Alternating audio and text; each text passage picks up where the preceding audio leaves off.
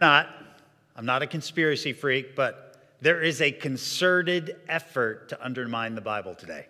And if, just check it out for yourself. Go out to Google and just search atheists in the Bible, and you will see way more podcasts, way more articles, way more videos than you can possibly get through. And they they are really going at it. They are pulling out all the stops to get you to question the Bible and actually not trusted at all.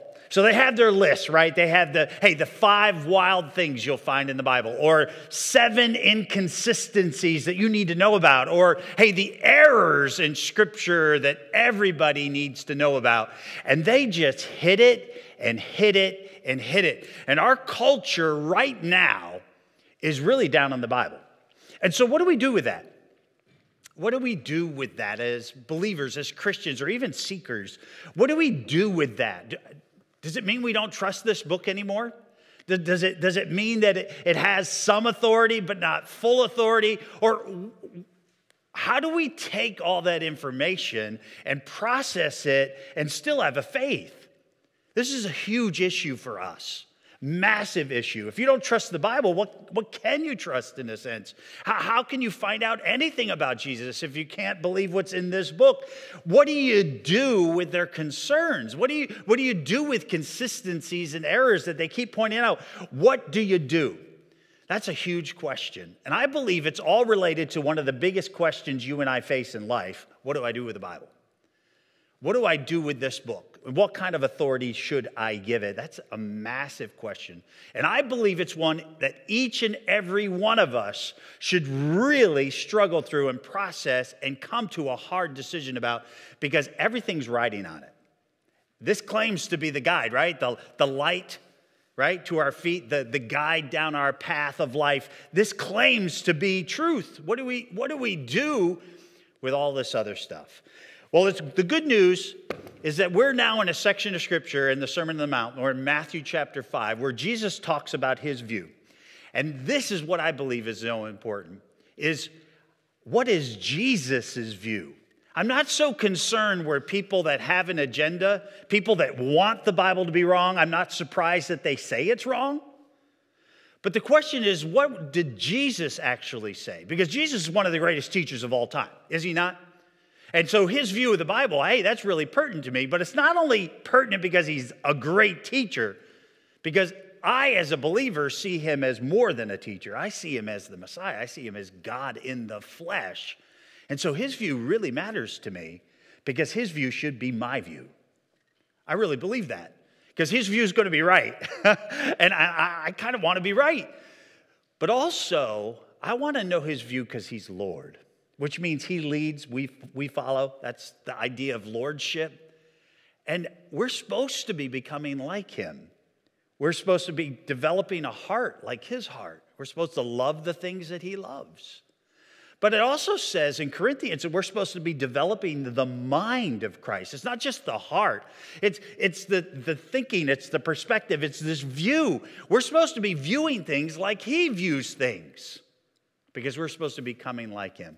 So, what we're doing in this series is we're kind of just saying, okay, how did Jesus view the Bible?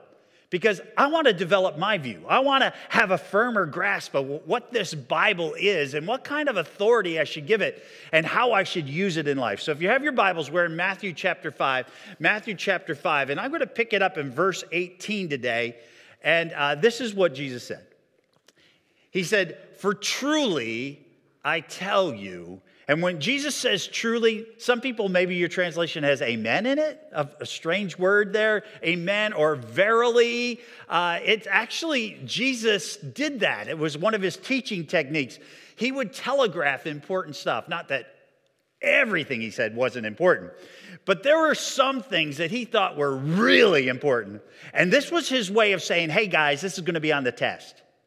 Eh, eh, eh, you may have not pay, paid attention to anything else I've said, but hey, pay attention to this thing right here, because this thing's really important. And the way Jesus did it is he said, Amen. Now, that seems strange to us because we put amen at the end of things, end of prayers, right? We say amen at the end. It means so be it or let it be, or it, it, it's like saying, that's right.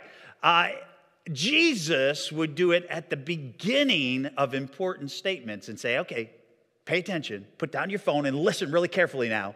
It was his way of just saying, zone in for just a second. And he said, hey, for truly I tell you, and then he's going to tell us what this huge thing is. Until heaven and earth disappear. Now that's heaven in the big sense of heaven. Heaven, heaven in scriptures, there's three heavens, right? You picked up on that. Uh, Paul talks about being, being in the third heaven. It's like the third heaven. I, I didn't know there were three of them because in Hebrew thinking, the sky is heaven, where the birds are and the clouds are. That's the first heaven. And then there's the next heaven, which is the stars and the planets and all those galaxies, that infinite universe. That's the second heaven. And then there's the third heaven, where God is, the throne, the angels are. And so he's saying, hey, until heaven, all of that and then the earth, basically saying, until all creation, everything I've made, until everything that I've made has disappeared, not the smallest letter, not the least stroke of a pen, will by any means disappear from the law, and that's a way of talking about the Old Testament again, will by any means disappear from the law until everything is accomplished. And that's him saying the same thing over again. Hey, there's going to be a time where the heavens and the earth are going to disappear. We're told that. The Bible tells us that everything's going to be unmade when everything is accomplished. Everything's going to be unmade and then remade. And he said, until that happens, until everything's accomplished like that, this is how much confidence and, and how much just sureness you can have in the Bible. He says, not by any means that's a double negative in the, in the Greek. Double, no, no, don't even think about it. Not the smallest letter and not the least stroke of the pen will by any means disappear. Will go away, will, will, lose its meaning or, or de- lack its force. So he's talking about Hebrew, right? The Old Testament, the law is written in Hebrew. And, and the, the smallest letter is this tiny thing. It's called a yod. It, it's like our apostrophe. Now, apostrophes can get lost. I, I know I miss them. They're small little things, but there are 60,000 yods in the Old Testament, in the Hebrew text. He's saying, even that small letter matters. And it's there for a reason. And I'm telling you, not a single one of those 60,000 little apostrophes, those yods, will by any means disappear from the Bible. And then he says, it's not just the yod, though. He says, not even the least stroke of a pen. What is he talking about? He's talking about that defining stroke of the pen that makes one letter another letter. We do the same thing in our, in our English, right? We have our O's, right? We make our loops, and with just a slight stroke of the pen, we can make those O's Q's. That's what he's talking about, those defining stroke, that, that little line in the bottom right hand corner of your O, making one letter another letter. He's saying you can trust this Bible, you can trust this Old Testament, right down to the very letters God has used to write it, to communicate it to you.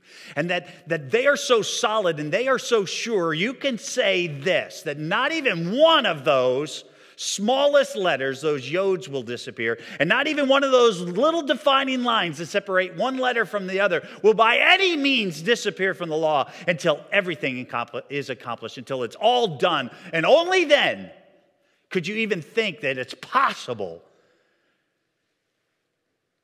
for one small aspect of it to disappear and lose its meaning and God allow it to go?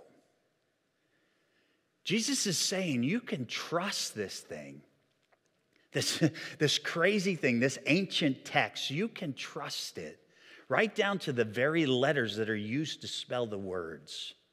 It is what God intended for it to be, and it will always be what God intended to be right to the very end, till everything is unmade. Now, that is a huge statement. That is a huge statement, and it flies in the face of, of, of what we tend to believe in today's culture. For instance, right now, the trend, the, the culture is pushing on you is you, you can trust the Bible in the big things. And, and maybe it's a parable or, or maybe it's this myth, but it's telling us this bigger truth, these higher things. And Jesus said, no. It's not just about the high things. It's not just about the big things. It's not just about the meta narrative.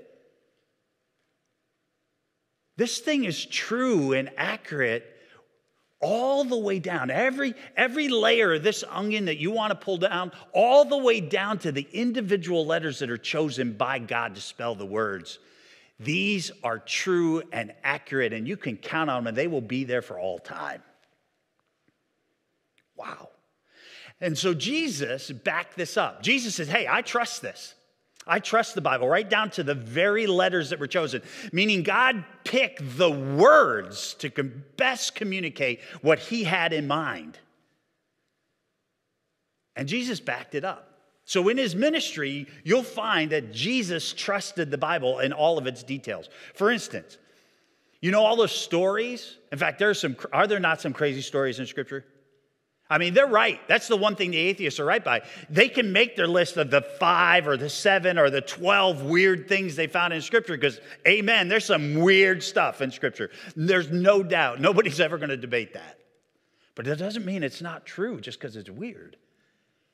There's some weird stuff that happens, and it's true. And Jesus treated it as true. And so, what's amazing is Jesus took all the stories of the Bible and he acted like they were historical fact. He, he would make points about them. He would say, This happened and this happened, as if they were real historical events. And there are the events you and I struggle with most. One of the events that people struggle with absolutely the most is the flood Noah and the flood right? Because the Bible claims that it was a global flood, that all the earth was flooded and it destroyed everything on the planet. And just these few people, these eight people escaped. And it's only because the animals, the land animals, were on this ark that they survived. And it's like, it, come on, that's, that seems hard to believe. Well, when Jesus talked about the story, he talked about it like it was no big deal. Like it was, it's just, it's what happened. It's history and it's the truth, and we all believe it and we all know it's true. He treated it as true, even though we struggle with it as true. And if anybody knew whether it was true or not, it was him. And it's not just the story of Noah, uh, Noah. Think about this. Another story we struggle with was Jonah, do we not? I mean, this guy running from God, okay, I believe that part. But he gets on the boat and they throw him overboard, and this fish comes along and swallows him. For three days? Really? Come on, really? And then spits him up on shore? And guess what? Jesus treated it like, yeah, that was just true. That's a true story. So even though we struggle, Jesus didn't. He, he saw every aspect, everything is just this historical, accurate thing that you could rely on. And he goes all the way back. That story about Cain and Abel, so people, so many people want to think that's like a parable about brothers, you know, good and evil. And, and we want to make it into this bigger, you know, this meta narrative again rather than the details. And Jesus says, no, the details were, he talks about it like it's just a historical fact, like it really happened. And it doesn't matter what character Jesus talked about, because he talked about Abraham, he talked about Isaac. He talked about Jacob. He, he, he talked about David and Solomon. He talked about Elisha and Elijah. I mean, you can think about all these, and he treats them like they were real historical figures, and what happened to them really happened to them, just as the Bible tells us. That should be really encouraging to us. Because again, if anybody knew what really happened, it was him. These things are real, and Jesus treats them as real. And just because people out there struggle, just because they want to deny, and they got a vested interest in denying because they can throw off God's authority and deny God in their life. They want it not to be true. Just because they, they have their agenda doesn't mean we have to buy into it and adopt it. Jesus says it's true, right down to that tiny little letter choice. You can count on it, it's reliable. You can hang your hat on it. But not only that, he based his arguments on it. When he was debating with the different groups, and boy, wouldn't it have been hard to be Jesus because somebody was always testing him? Somebody, somebody was always going after him. He had to be constantly on his guard. And he was always in these midst of these debates, and he was so good about it, and he was so on his game. In fact, he so impresses us with his wisdom, does he not, and how he handles it? One of these debates is with the Sadducees, and we have this joke. We say, well, they're sad, you see. And the reason we consider them so sad is the Sadducees didn't believe in the resurrection. They didn't believe in life after death. They, they, they believed that, that once you died, you were gone. And that's a common view today. A lot of people just be, believe you just, you just cease to exist. And the, the only way you continue to linger is in the minds of others, in the memories of others, because you're gone. So he's in this debate with the Sadducees about life after death. And you can see this in Matthew 22. And notice how he argues his point. Notice how he makes his point and what he says. Jesus replies, You are in error. Now, wouldn't you hate God to tell you that? That's basically what's happening. God in the flesh is saying, You got this all wrong, guys. You, have got this twisted and messed up. You, you, you are just you are full of stinking thinking. You, you don't have this right. You are in error. And he tells them why they're in error. And it says, because you do not know the scriptures. That's Jesus' attitude towards the Bible. If you want to know the way things really are, where do you go? The Bible. You're, you're mistaken because you don't know the Bible. And these are Sadducees, these are religious leaders. And he's saying, hey, even though you studied this document your whole life, you still don't understand it. You still don't get it because you really don't believe it. You don't believe it's true. You are in error because you do not know the scriptures or the power of God because, hey, God can sustain life even after death. The soul can go on, right? At the resurrection, he continues, people will neither marry nor be given in marriage, because that's part of their document, and whose wife this person will be People aren't given in marriage at the resurrection. They're like the angels. They will be like the angels in heaven. Ever notice the angels are always guys in scripture? There aren't any ever any girls. So there aren't couples. Angels are never dating, I guess. They, they, they don't have any matchmaking apps. They just don't do that thing. That's not what they're about. And for some reason, in the after, we also will no longer be couple driven he says, We'll be like the angels. We'll, we'll just, we'll be comfortable not being in a couple. Verse 31 But about the resurrection of the dead, life after death, have you not read what God said? So he's going to make his argument. He says, You don't know the scriptures. And so he's actually going to quote a Bible reference now. He's going to quote a Bible verse. And notice which one he does. It's in verse 32. This is what God said to you I am the God of Abraham, the God of Isaac and the God of Jacob. And here he's going to sum it up. He is not the God of the dead, but the God of the living. How, how, did he get that?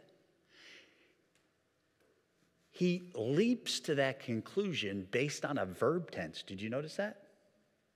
It's because God said, I am. I am the God of Abraham. He didn't say, Hey, I was the God of Abraham because God's no because Abraham's no more, I can no longer say am. And since Abraham still is, God says, am. I still am. I was and I still am the God of Abraham. And I still am the God of Jacob. And I still am the God of Isaac because these guys are still alive. And Jesus takes this verb tense and says, hey, you can base a whole doctrine on this that there's life after death, that there is a resurrection, just based on the verb tense God chose to put in His word. I am the God of Abraham. You see how powerful this is? You see what Jesus is saying? He's saying that you can get into Scripture and you can study it with a microscope. You, you can get as small as it gets. And you can go down to its littlest details. And out of those details, you can make conclusions. And those conclusions can guide your life, even about the resurrection. That's what he's showing us. So Jesus treats Scripture different than we're comfortable doing it. He's saying, hey, not only can you trust it as historical fact, all the stories in it you, you can treat, treat as true because they are true. But even the little words, the choices of the words matter. And God intentionally and intelligently chose even verb tenses that you can hang your hat on. And then, even beyond that, in debate, it was his final say, was it not? Uh, when, he, when he was in any conflict, it was like, hey, the Bible says this, and that settles it. Well, how can you do that with a, with a, a text that you can't trust? That's only appropriate and somehow in this higher sphere of thinking and not down in the details. And so when he was tempted in the wilderness again, Satan was there, right? He always came back at him with the truth and said, Hey, this is what Deuteronomy says. This is what God's word says. He fought with it like it was solid and true. It was a sword, it was metal, it was solid. What Jesus is saying is that we can trust the Bible down to its smallest details. And this is going to be hard for us to stomach in this day and age where so much, so many attacks have gone against it. But this is the way Jesus treated it. This was his attitude, this was his view. And again, who knows better? Who knows better, him or us? The question I get a lot and I've heard it expressed in all sorts of different ways. But that may be true, Mike, that, that Jesus really relied on his Bible, the Bible of his day, and he really trusted it. But that Bible is no more. I mean, it's changed, right? And then inevitably they'll say something like this just like that game of telephone. I can't tell you how many times I hear that, and it frustrates me every time because it's so misunderstood. There's a myth there and there's a lie inherent to it that we have bought into, and we actually take that as true. You ever play the game of telephone? You ever do that? So I remember doing that in youth group and us getting all in a line, right? And they had a message at one end and they'd whisper it in person's ear. And then the next person would whisper it in the next person's ear and down and down and down and down and down the row, all the way to the end. And by the time it got to the end, the message was a mess. And the whole premise of this was the Bible is transmitted what? Orally. What a lie. The Bible hasn't been transmitted orally. Why do we say that? Why do we believe that? Why do we allow them out there to say, hey, the Bible was transmitted orally? When? You, you, you go back to the first five books with Moses.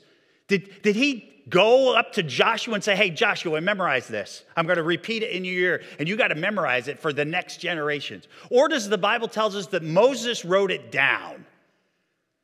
Weren't there something about tablets up on a mountain where it was written down? Why do we buy this lie that says, oh, it's orally transmitted? When?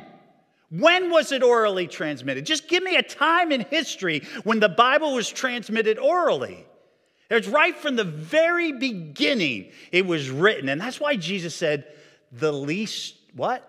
Stroke of a, of a pen. He doesn't say the, the least smallest syllable spoken. He talks about the least stroke of a pen. Why? Because these people wrote it down. It's not like a game of telephone. Stop buying that. Stop thinking that. And don't let people say that anymore. That's such hogwash. The Bible has been written from the very beginning. And it continues to be written. In fact, the Jewish people were so serious about that. They guarded it and secured it, and they were very careful copying it. They were working with the Word of God. So, does, you think they're just going to flippantly just, hey, it doesn't matter? They treated it with incredible respect. And we got proof they do.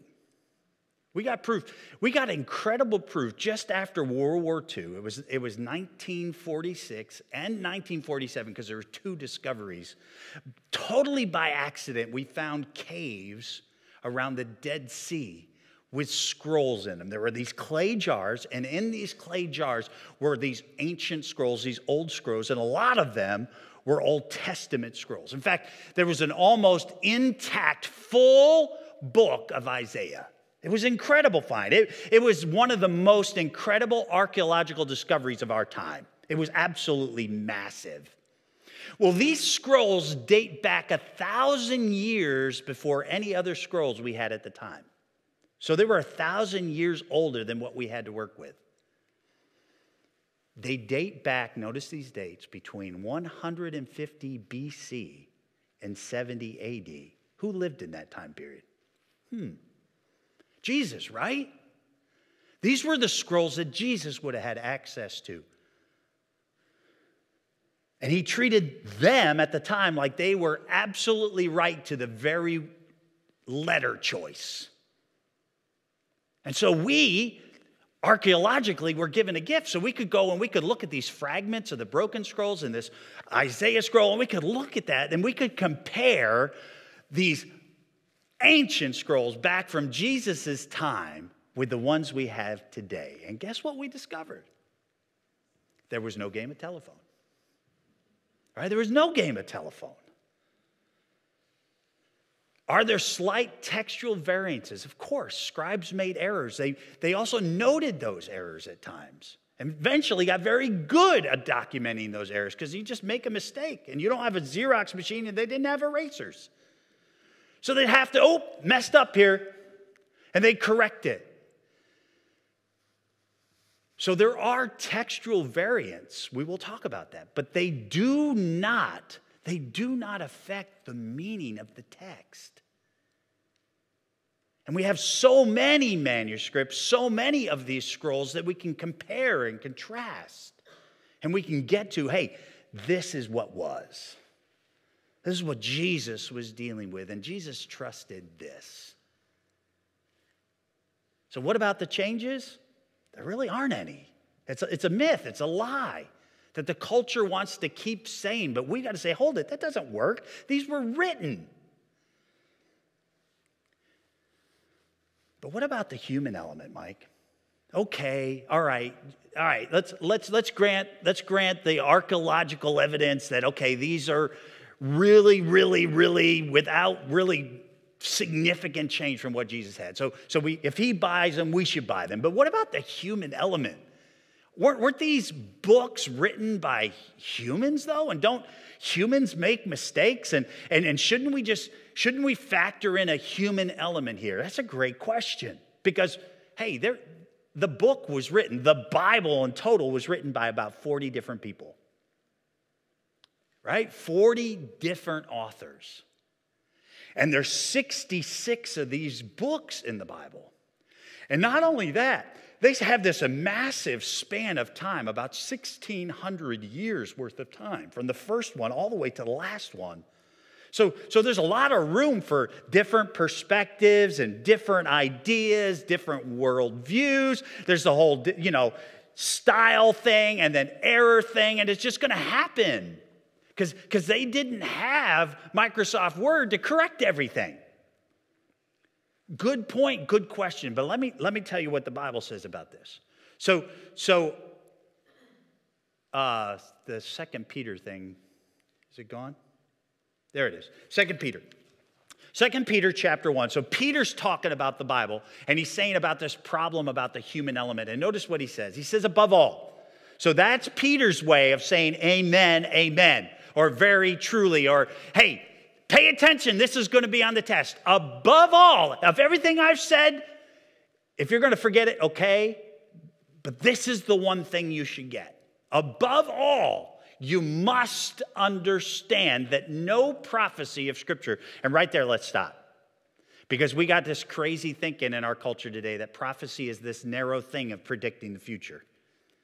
That's not what prophecy is. That is a type of prophecy, and it may be the one we most like to talk about. But prophecy, scripture wise, is when anybody spoke for God. If you, if you had a word from God, you were called a prophet, were you not? And what do prophets give you? Prophecy. So all of the Old Testament is considered prophecy because it all comes from a prophet.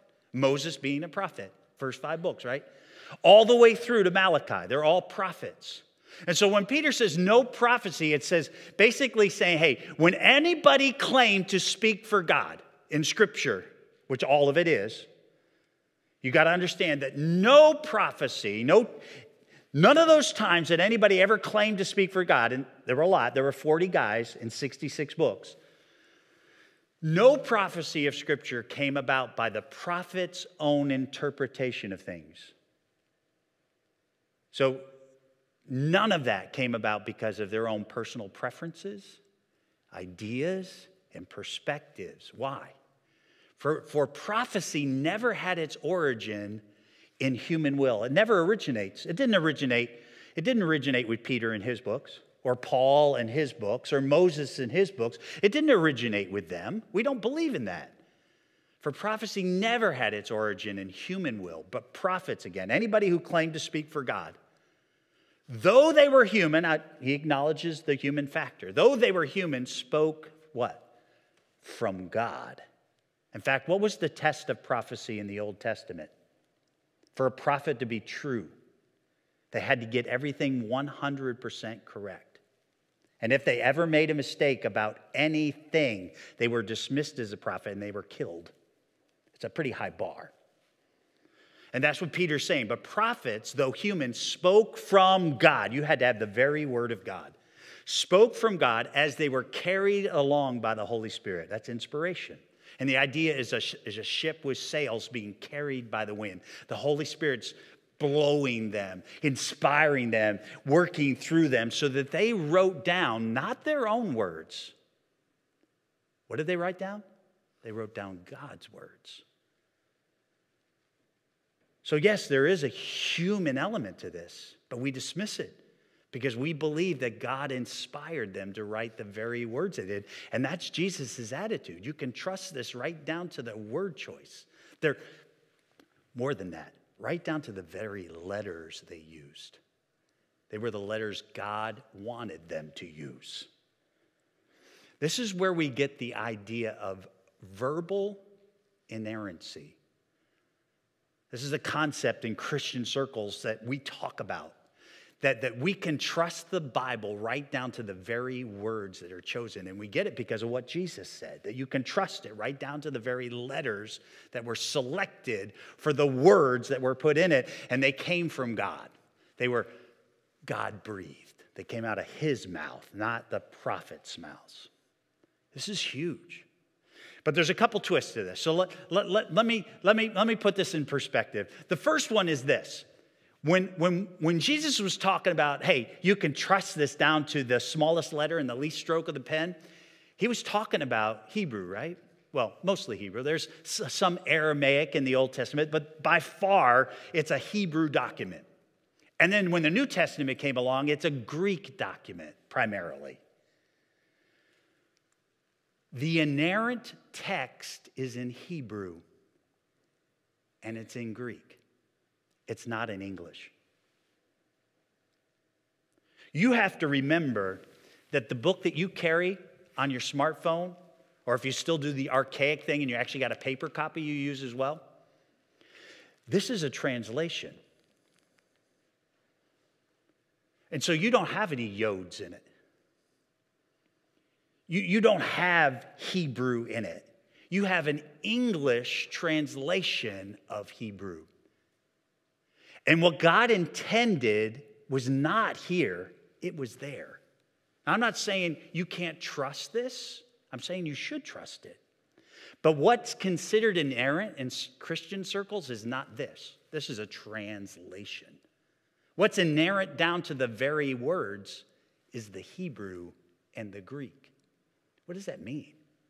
It means that, hey, most of us aren't Hebrew scholars and most of us aren't Greek scholars, so we use this, and that's okay.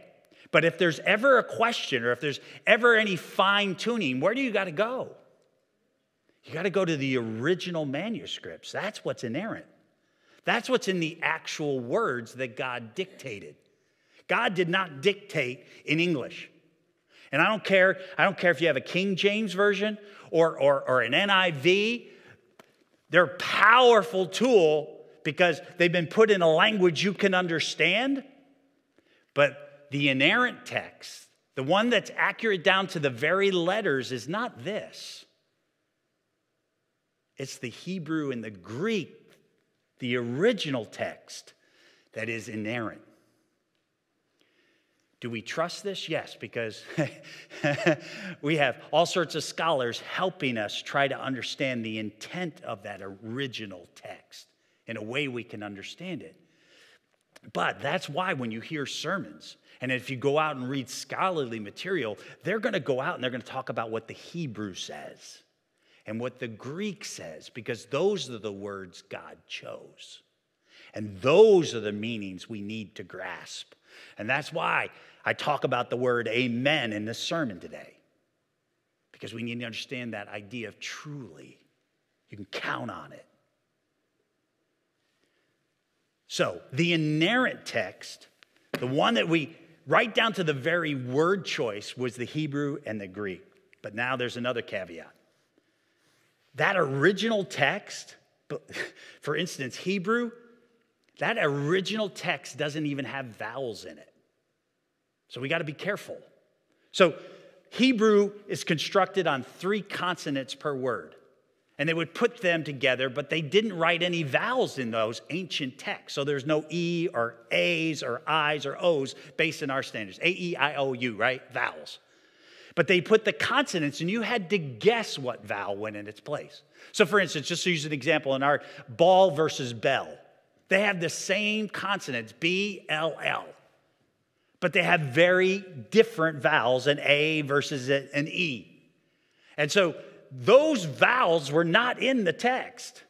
But context tells us, well, you, you ring, do you ring a bell or do you ring a ball? And so scholars can go in and say, okay, the word here is ball or bell based on the context. And so there's multiple words for the same three consonants. So we got to remember that. And on top of it, if you go to the Greek text or the Hebrew text, there's no punctuation in it. It wasn't invented yet. There's no commas, there's no periods. In fact, there are these incredible run on sentences in Scripture that your English teacher would have fits about. Right? It's just, it's the way they wrote. Now, it's inspired, God wanted it that way but it's just the way it was versus the way we do things. So they didn't have punctuation. And guess what? There were no titles, there was no Genesis at the top of the first book. We added that. That's not inerrant. There's no, there were no titles in any of the books, they just started. And guess what? There were no chapter numbers and no verse numbers. They're not inerrant. We added those as tools to help us find stuff and be able to correlate stuff. And they're incredibly helpful, right? Chapters and verses. We need those numbers. And believe it or not, believe it or not, even that section at the very end, maps, it wasn't there. It wasn't part of the original text. We added those as tools, right? Helpful. So we got to be careful. Yes. Is this Bible true? Absolutely. Right down to the very words chosen in the original Hebrew and the original Greek. Absolutely. Those words were very specifically chosen. Among all these words, he chose that word in that spot because it conveyed the meaning that God was after. And we can trust it right down to the smallest letter or the least stroke of a pen. And so this leads to another caveat that you just need to know about. There's a whole field of study about this, right? You have, you have thousands upon thousands of these ancient manuscripts. And, and you have these scholars poring over these ones without vowels right? And, and, and, you have them comparing and contrasting and looking at this textual variant over there. And if you look at your Bible carefully, if you go to those footnotes, often those footnotes are hey, the oldest manuscript doesn't have this word in it. Does it change the meaning of the text? No, not really. But there's a textual variant. You just need to know about it and some texts are older than others and they it's really it's way more complicated than the average person wants to know about. But yet those texts those original texts that that that writing from moses was exactly what god wanted moses to write down to the very words. And the problem is is those texts from moses those original manuscripts they don't exist today. Right? Makes sense? He wrote on papyrus or, or animal skin to make his scrolls. That's what they did for millennia. Well, they don't last.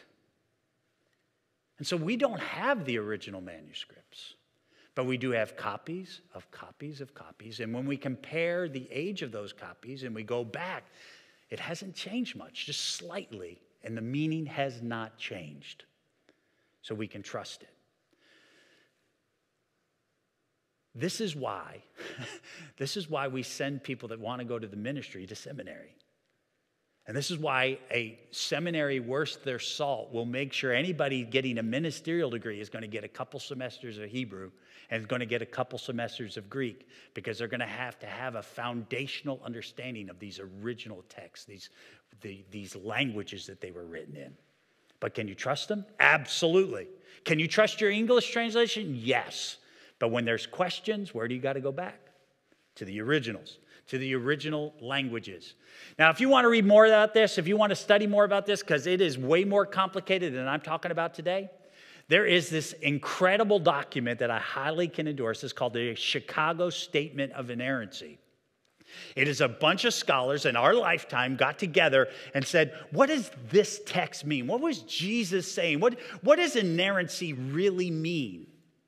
And they put together this document, it's just a few pages long that goes through all these caveats about original languages and manuscripts and all of that, and basically say you can trust the text to say what it said. So, what does that mean? It means we should read poetry like it's poetry, and we should read history like it's history. And that, that, that if it talks about uh, all this flowery language and poetry, it's probably not literal, it's probably hyperbole, but it's truth, but it's poetry truth. And then if you have history, is that truth? Yes, it's much more factual, regimented, and yes, it's absolutely right down to the dates you can count on it. But you need to read it like it was intended in the original language, in the voice that it was intended. So, Mike, what about the errors then? What about all these errors? What about, what about the atheists and their errors or inconsistencies? There aren't any. There aren't any. In fact, it is such a big deal that apologists, remember I said there's a whole area of study out there? There's an area called apologetics, which is a defense of the faith. It's, it's giving people the reason why we believe what we believe and why it's reasonable to believe what we believe. And this book by Geisler and Howe is entitled When Critics, Critics Ask. And they systematically go from the first verse of the Bible that anybody ever complained about and found a problem with, and they go all the way through the last verse of the Bible, and they talk about the error somebody said was there or the inconsistency between it and something else or whatever, and they explain it because every one is explainable. Typically, the errors people say are there is a lack of knowledge, a lack of insight. Really, it, they're, they're really based in ignorance. They don't understand the Bible enough to, to critique the Bible. And so when they do critique it, they, they don't have enough information to cr- critique it and really get anything right. And so scholars have these books. This is just one. And then you can see it's a decent sized book. And it just systematically goes through every Bible verse that anybody ever had a problem with, and it explains the problem and why people have a misunderstanding about it and what it really means. Because this is my experience. The inconsistencies, I have yet to find one. Error, I have yet to find one. And I've had people point them out to me, and they're all easily explainable once you understand the Bible well enough to explain them. There aren't any errors. Plus, on top of it, if that's not enough, the Bible has proved itself over and over. It's proved itself archaeologically, historically. As I've already said about the Dead Sea Scrolls, this is, this is what Nelson Glueck said you may never heard that name, but he is a scholar. He's very reputable when it comes to these things. He said, It may be stated categorically that no archaeological discovery has ever, ever controverted a biblical reference. Every time we have a problem with Scripture, I remember early on in my faith, people were questioning whether David was even a true historical figure or he was a myth or a legend like King Arthur. And then seemed like 20 years later, they found an archaeological discovery, a, a bronze tablet where David was mentioned by name. And he, boom, suddenly he's a true proven character, a historical figure. This has happened over and over where people have questioned the Bible, especially Luke, it seems like. People have problems saying, oh, this never happened. And when archaeological evidence is discovered, guess who's right? The Bible's always right. Always right. It has been proved over and over. History has proved that you can trust your Bible. The other thing that's true is prophecy has proved your Bible true. Jesus fulfilled 300 plus prophecies just his first appearance, the first time he came. Now, there's a lot more he's going to fulfill but he, he fulfilled 300 of these the first time. And they were things he couldn't control, like, like who his mom was and, and where he was born, things that, that, that you would think the average person can't manipulate and control in their lifetime.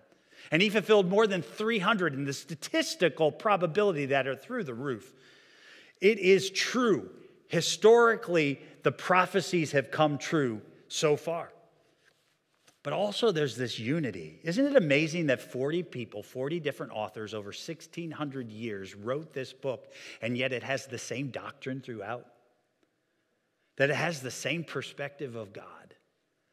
That, that it's this consistent document that you can jump and check the book by itself jumping all the way back to the Old Testament or jumping right back to the New Testament. It has this internal consistency and unity that is in, improbable and impossible to understand unless you get this that it was all inspired by one author, God Himself. That's why it's whole and that's why it's unified. And then lastly, you can trust that book because through the ages, there are people like you and me that have read this book and your life has changed. That this truth is spoken into your heart and your mind. And it's, it's catalyzed. God has used it to make you into a different person. This book has power. This is, this is not just a book, it's the Bible. And it's why it's still the greatest selling book of all time. And that's with the concerted effort to undermine it. It's because, hey, when you really get to it, this book's got to be true. Jesus said it was true. He said you could trust it right down to the smallest letter or the least stroke of the pen. But all of this shows over and over and over again that it is the work of God. And so, Mike, what do I do? What do we do? Every one of us has got to get to a point where we change order in life. Everybody struggles with this question about the Bible, and you should. But eventually, the evidence is so overwhelming and so conclusive. And, and, and, and, and you just finally get to a point where, in faith, you finally change the order of authority. So, this is what we typically do, and this is what scholars do, the, the cultural scholars do. They put themselves up here as the greatest thinkers of, of, of the ones that are, they would call themselves objective and insightful, and they're the ones that really get it. They would put themselves up here and they would look down on the Bible and they would put the Bible underneath them. And they would question the Bible. They would critique the Bible. They would study the Bible in the sense of they're superior to it. And I think we all start out life that way. We all have this kind of attitude that we want to run our lives and we want to be Lord and we want to be on the throne and we want to do things the way we want to do it. So we put ourselves over the Bible. But there's a transition that takes place eventually as we grow in our faith, where finally it hits us that this book I've put it in the wrong order. I've, I've put me over the Bible. But eventually there comes this faith transition where I put the Bible over me. That I put the Bible above me, where no longer do I question the Bible, but the Bible questions me. Now, no longer do I criticize the Bible, the Bible criticizes me. That, that it has this authority because God gave it, it's God's voice. It's, it's His words, it's His revelation to us. And so eventually, I need to submit to it. I need to honor it and I need to respect it just the way Jesus did. I need to put it in its proper place in my life. Not me questioning it, but it questioning me. I need to put it above me because it's the very word of God and I'm not God. And one of the greatest things you can do is settle the debate and change the order. And let the Bible to start speaking it in your life as if it's absolutely true and accurate and has the authority from God because it's His words to speak into your life and be the guide the Bible says it is, to be the light that it says it is, to be the very word of God that it says it is. But that's a faith. That's a faith decision. You're never going to get enough proof.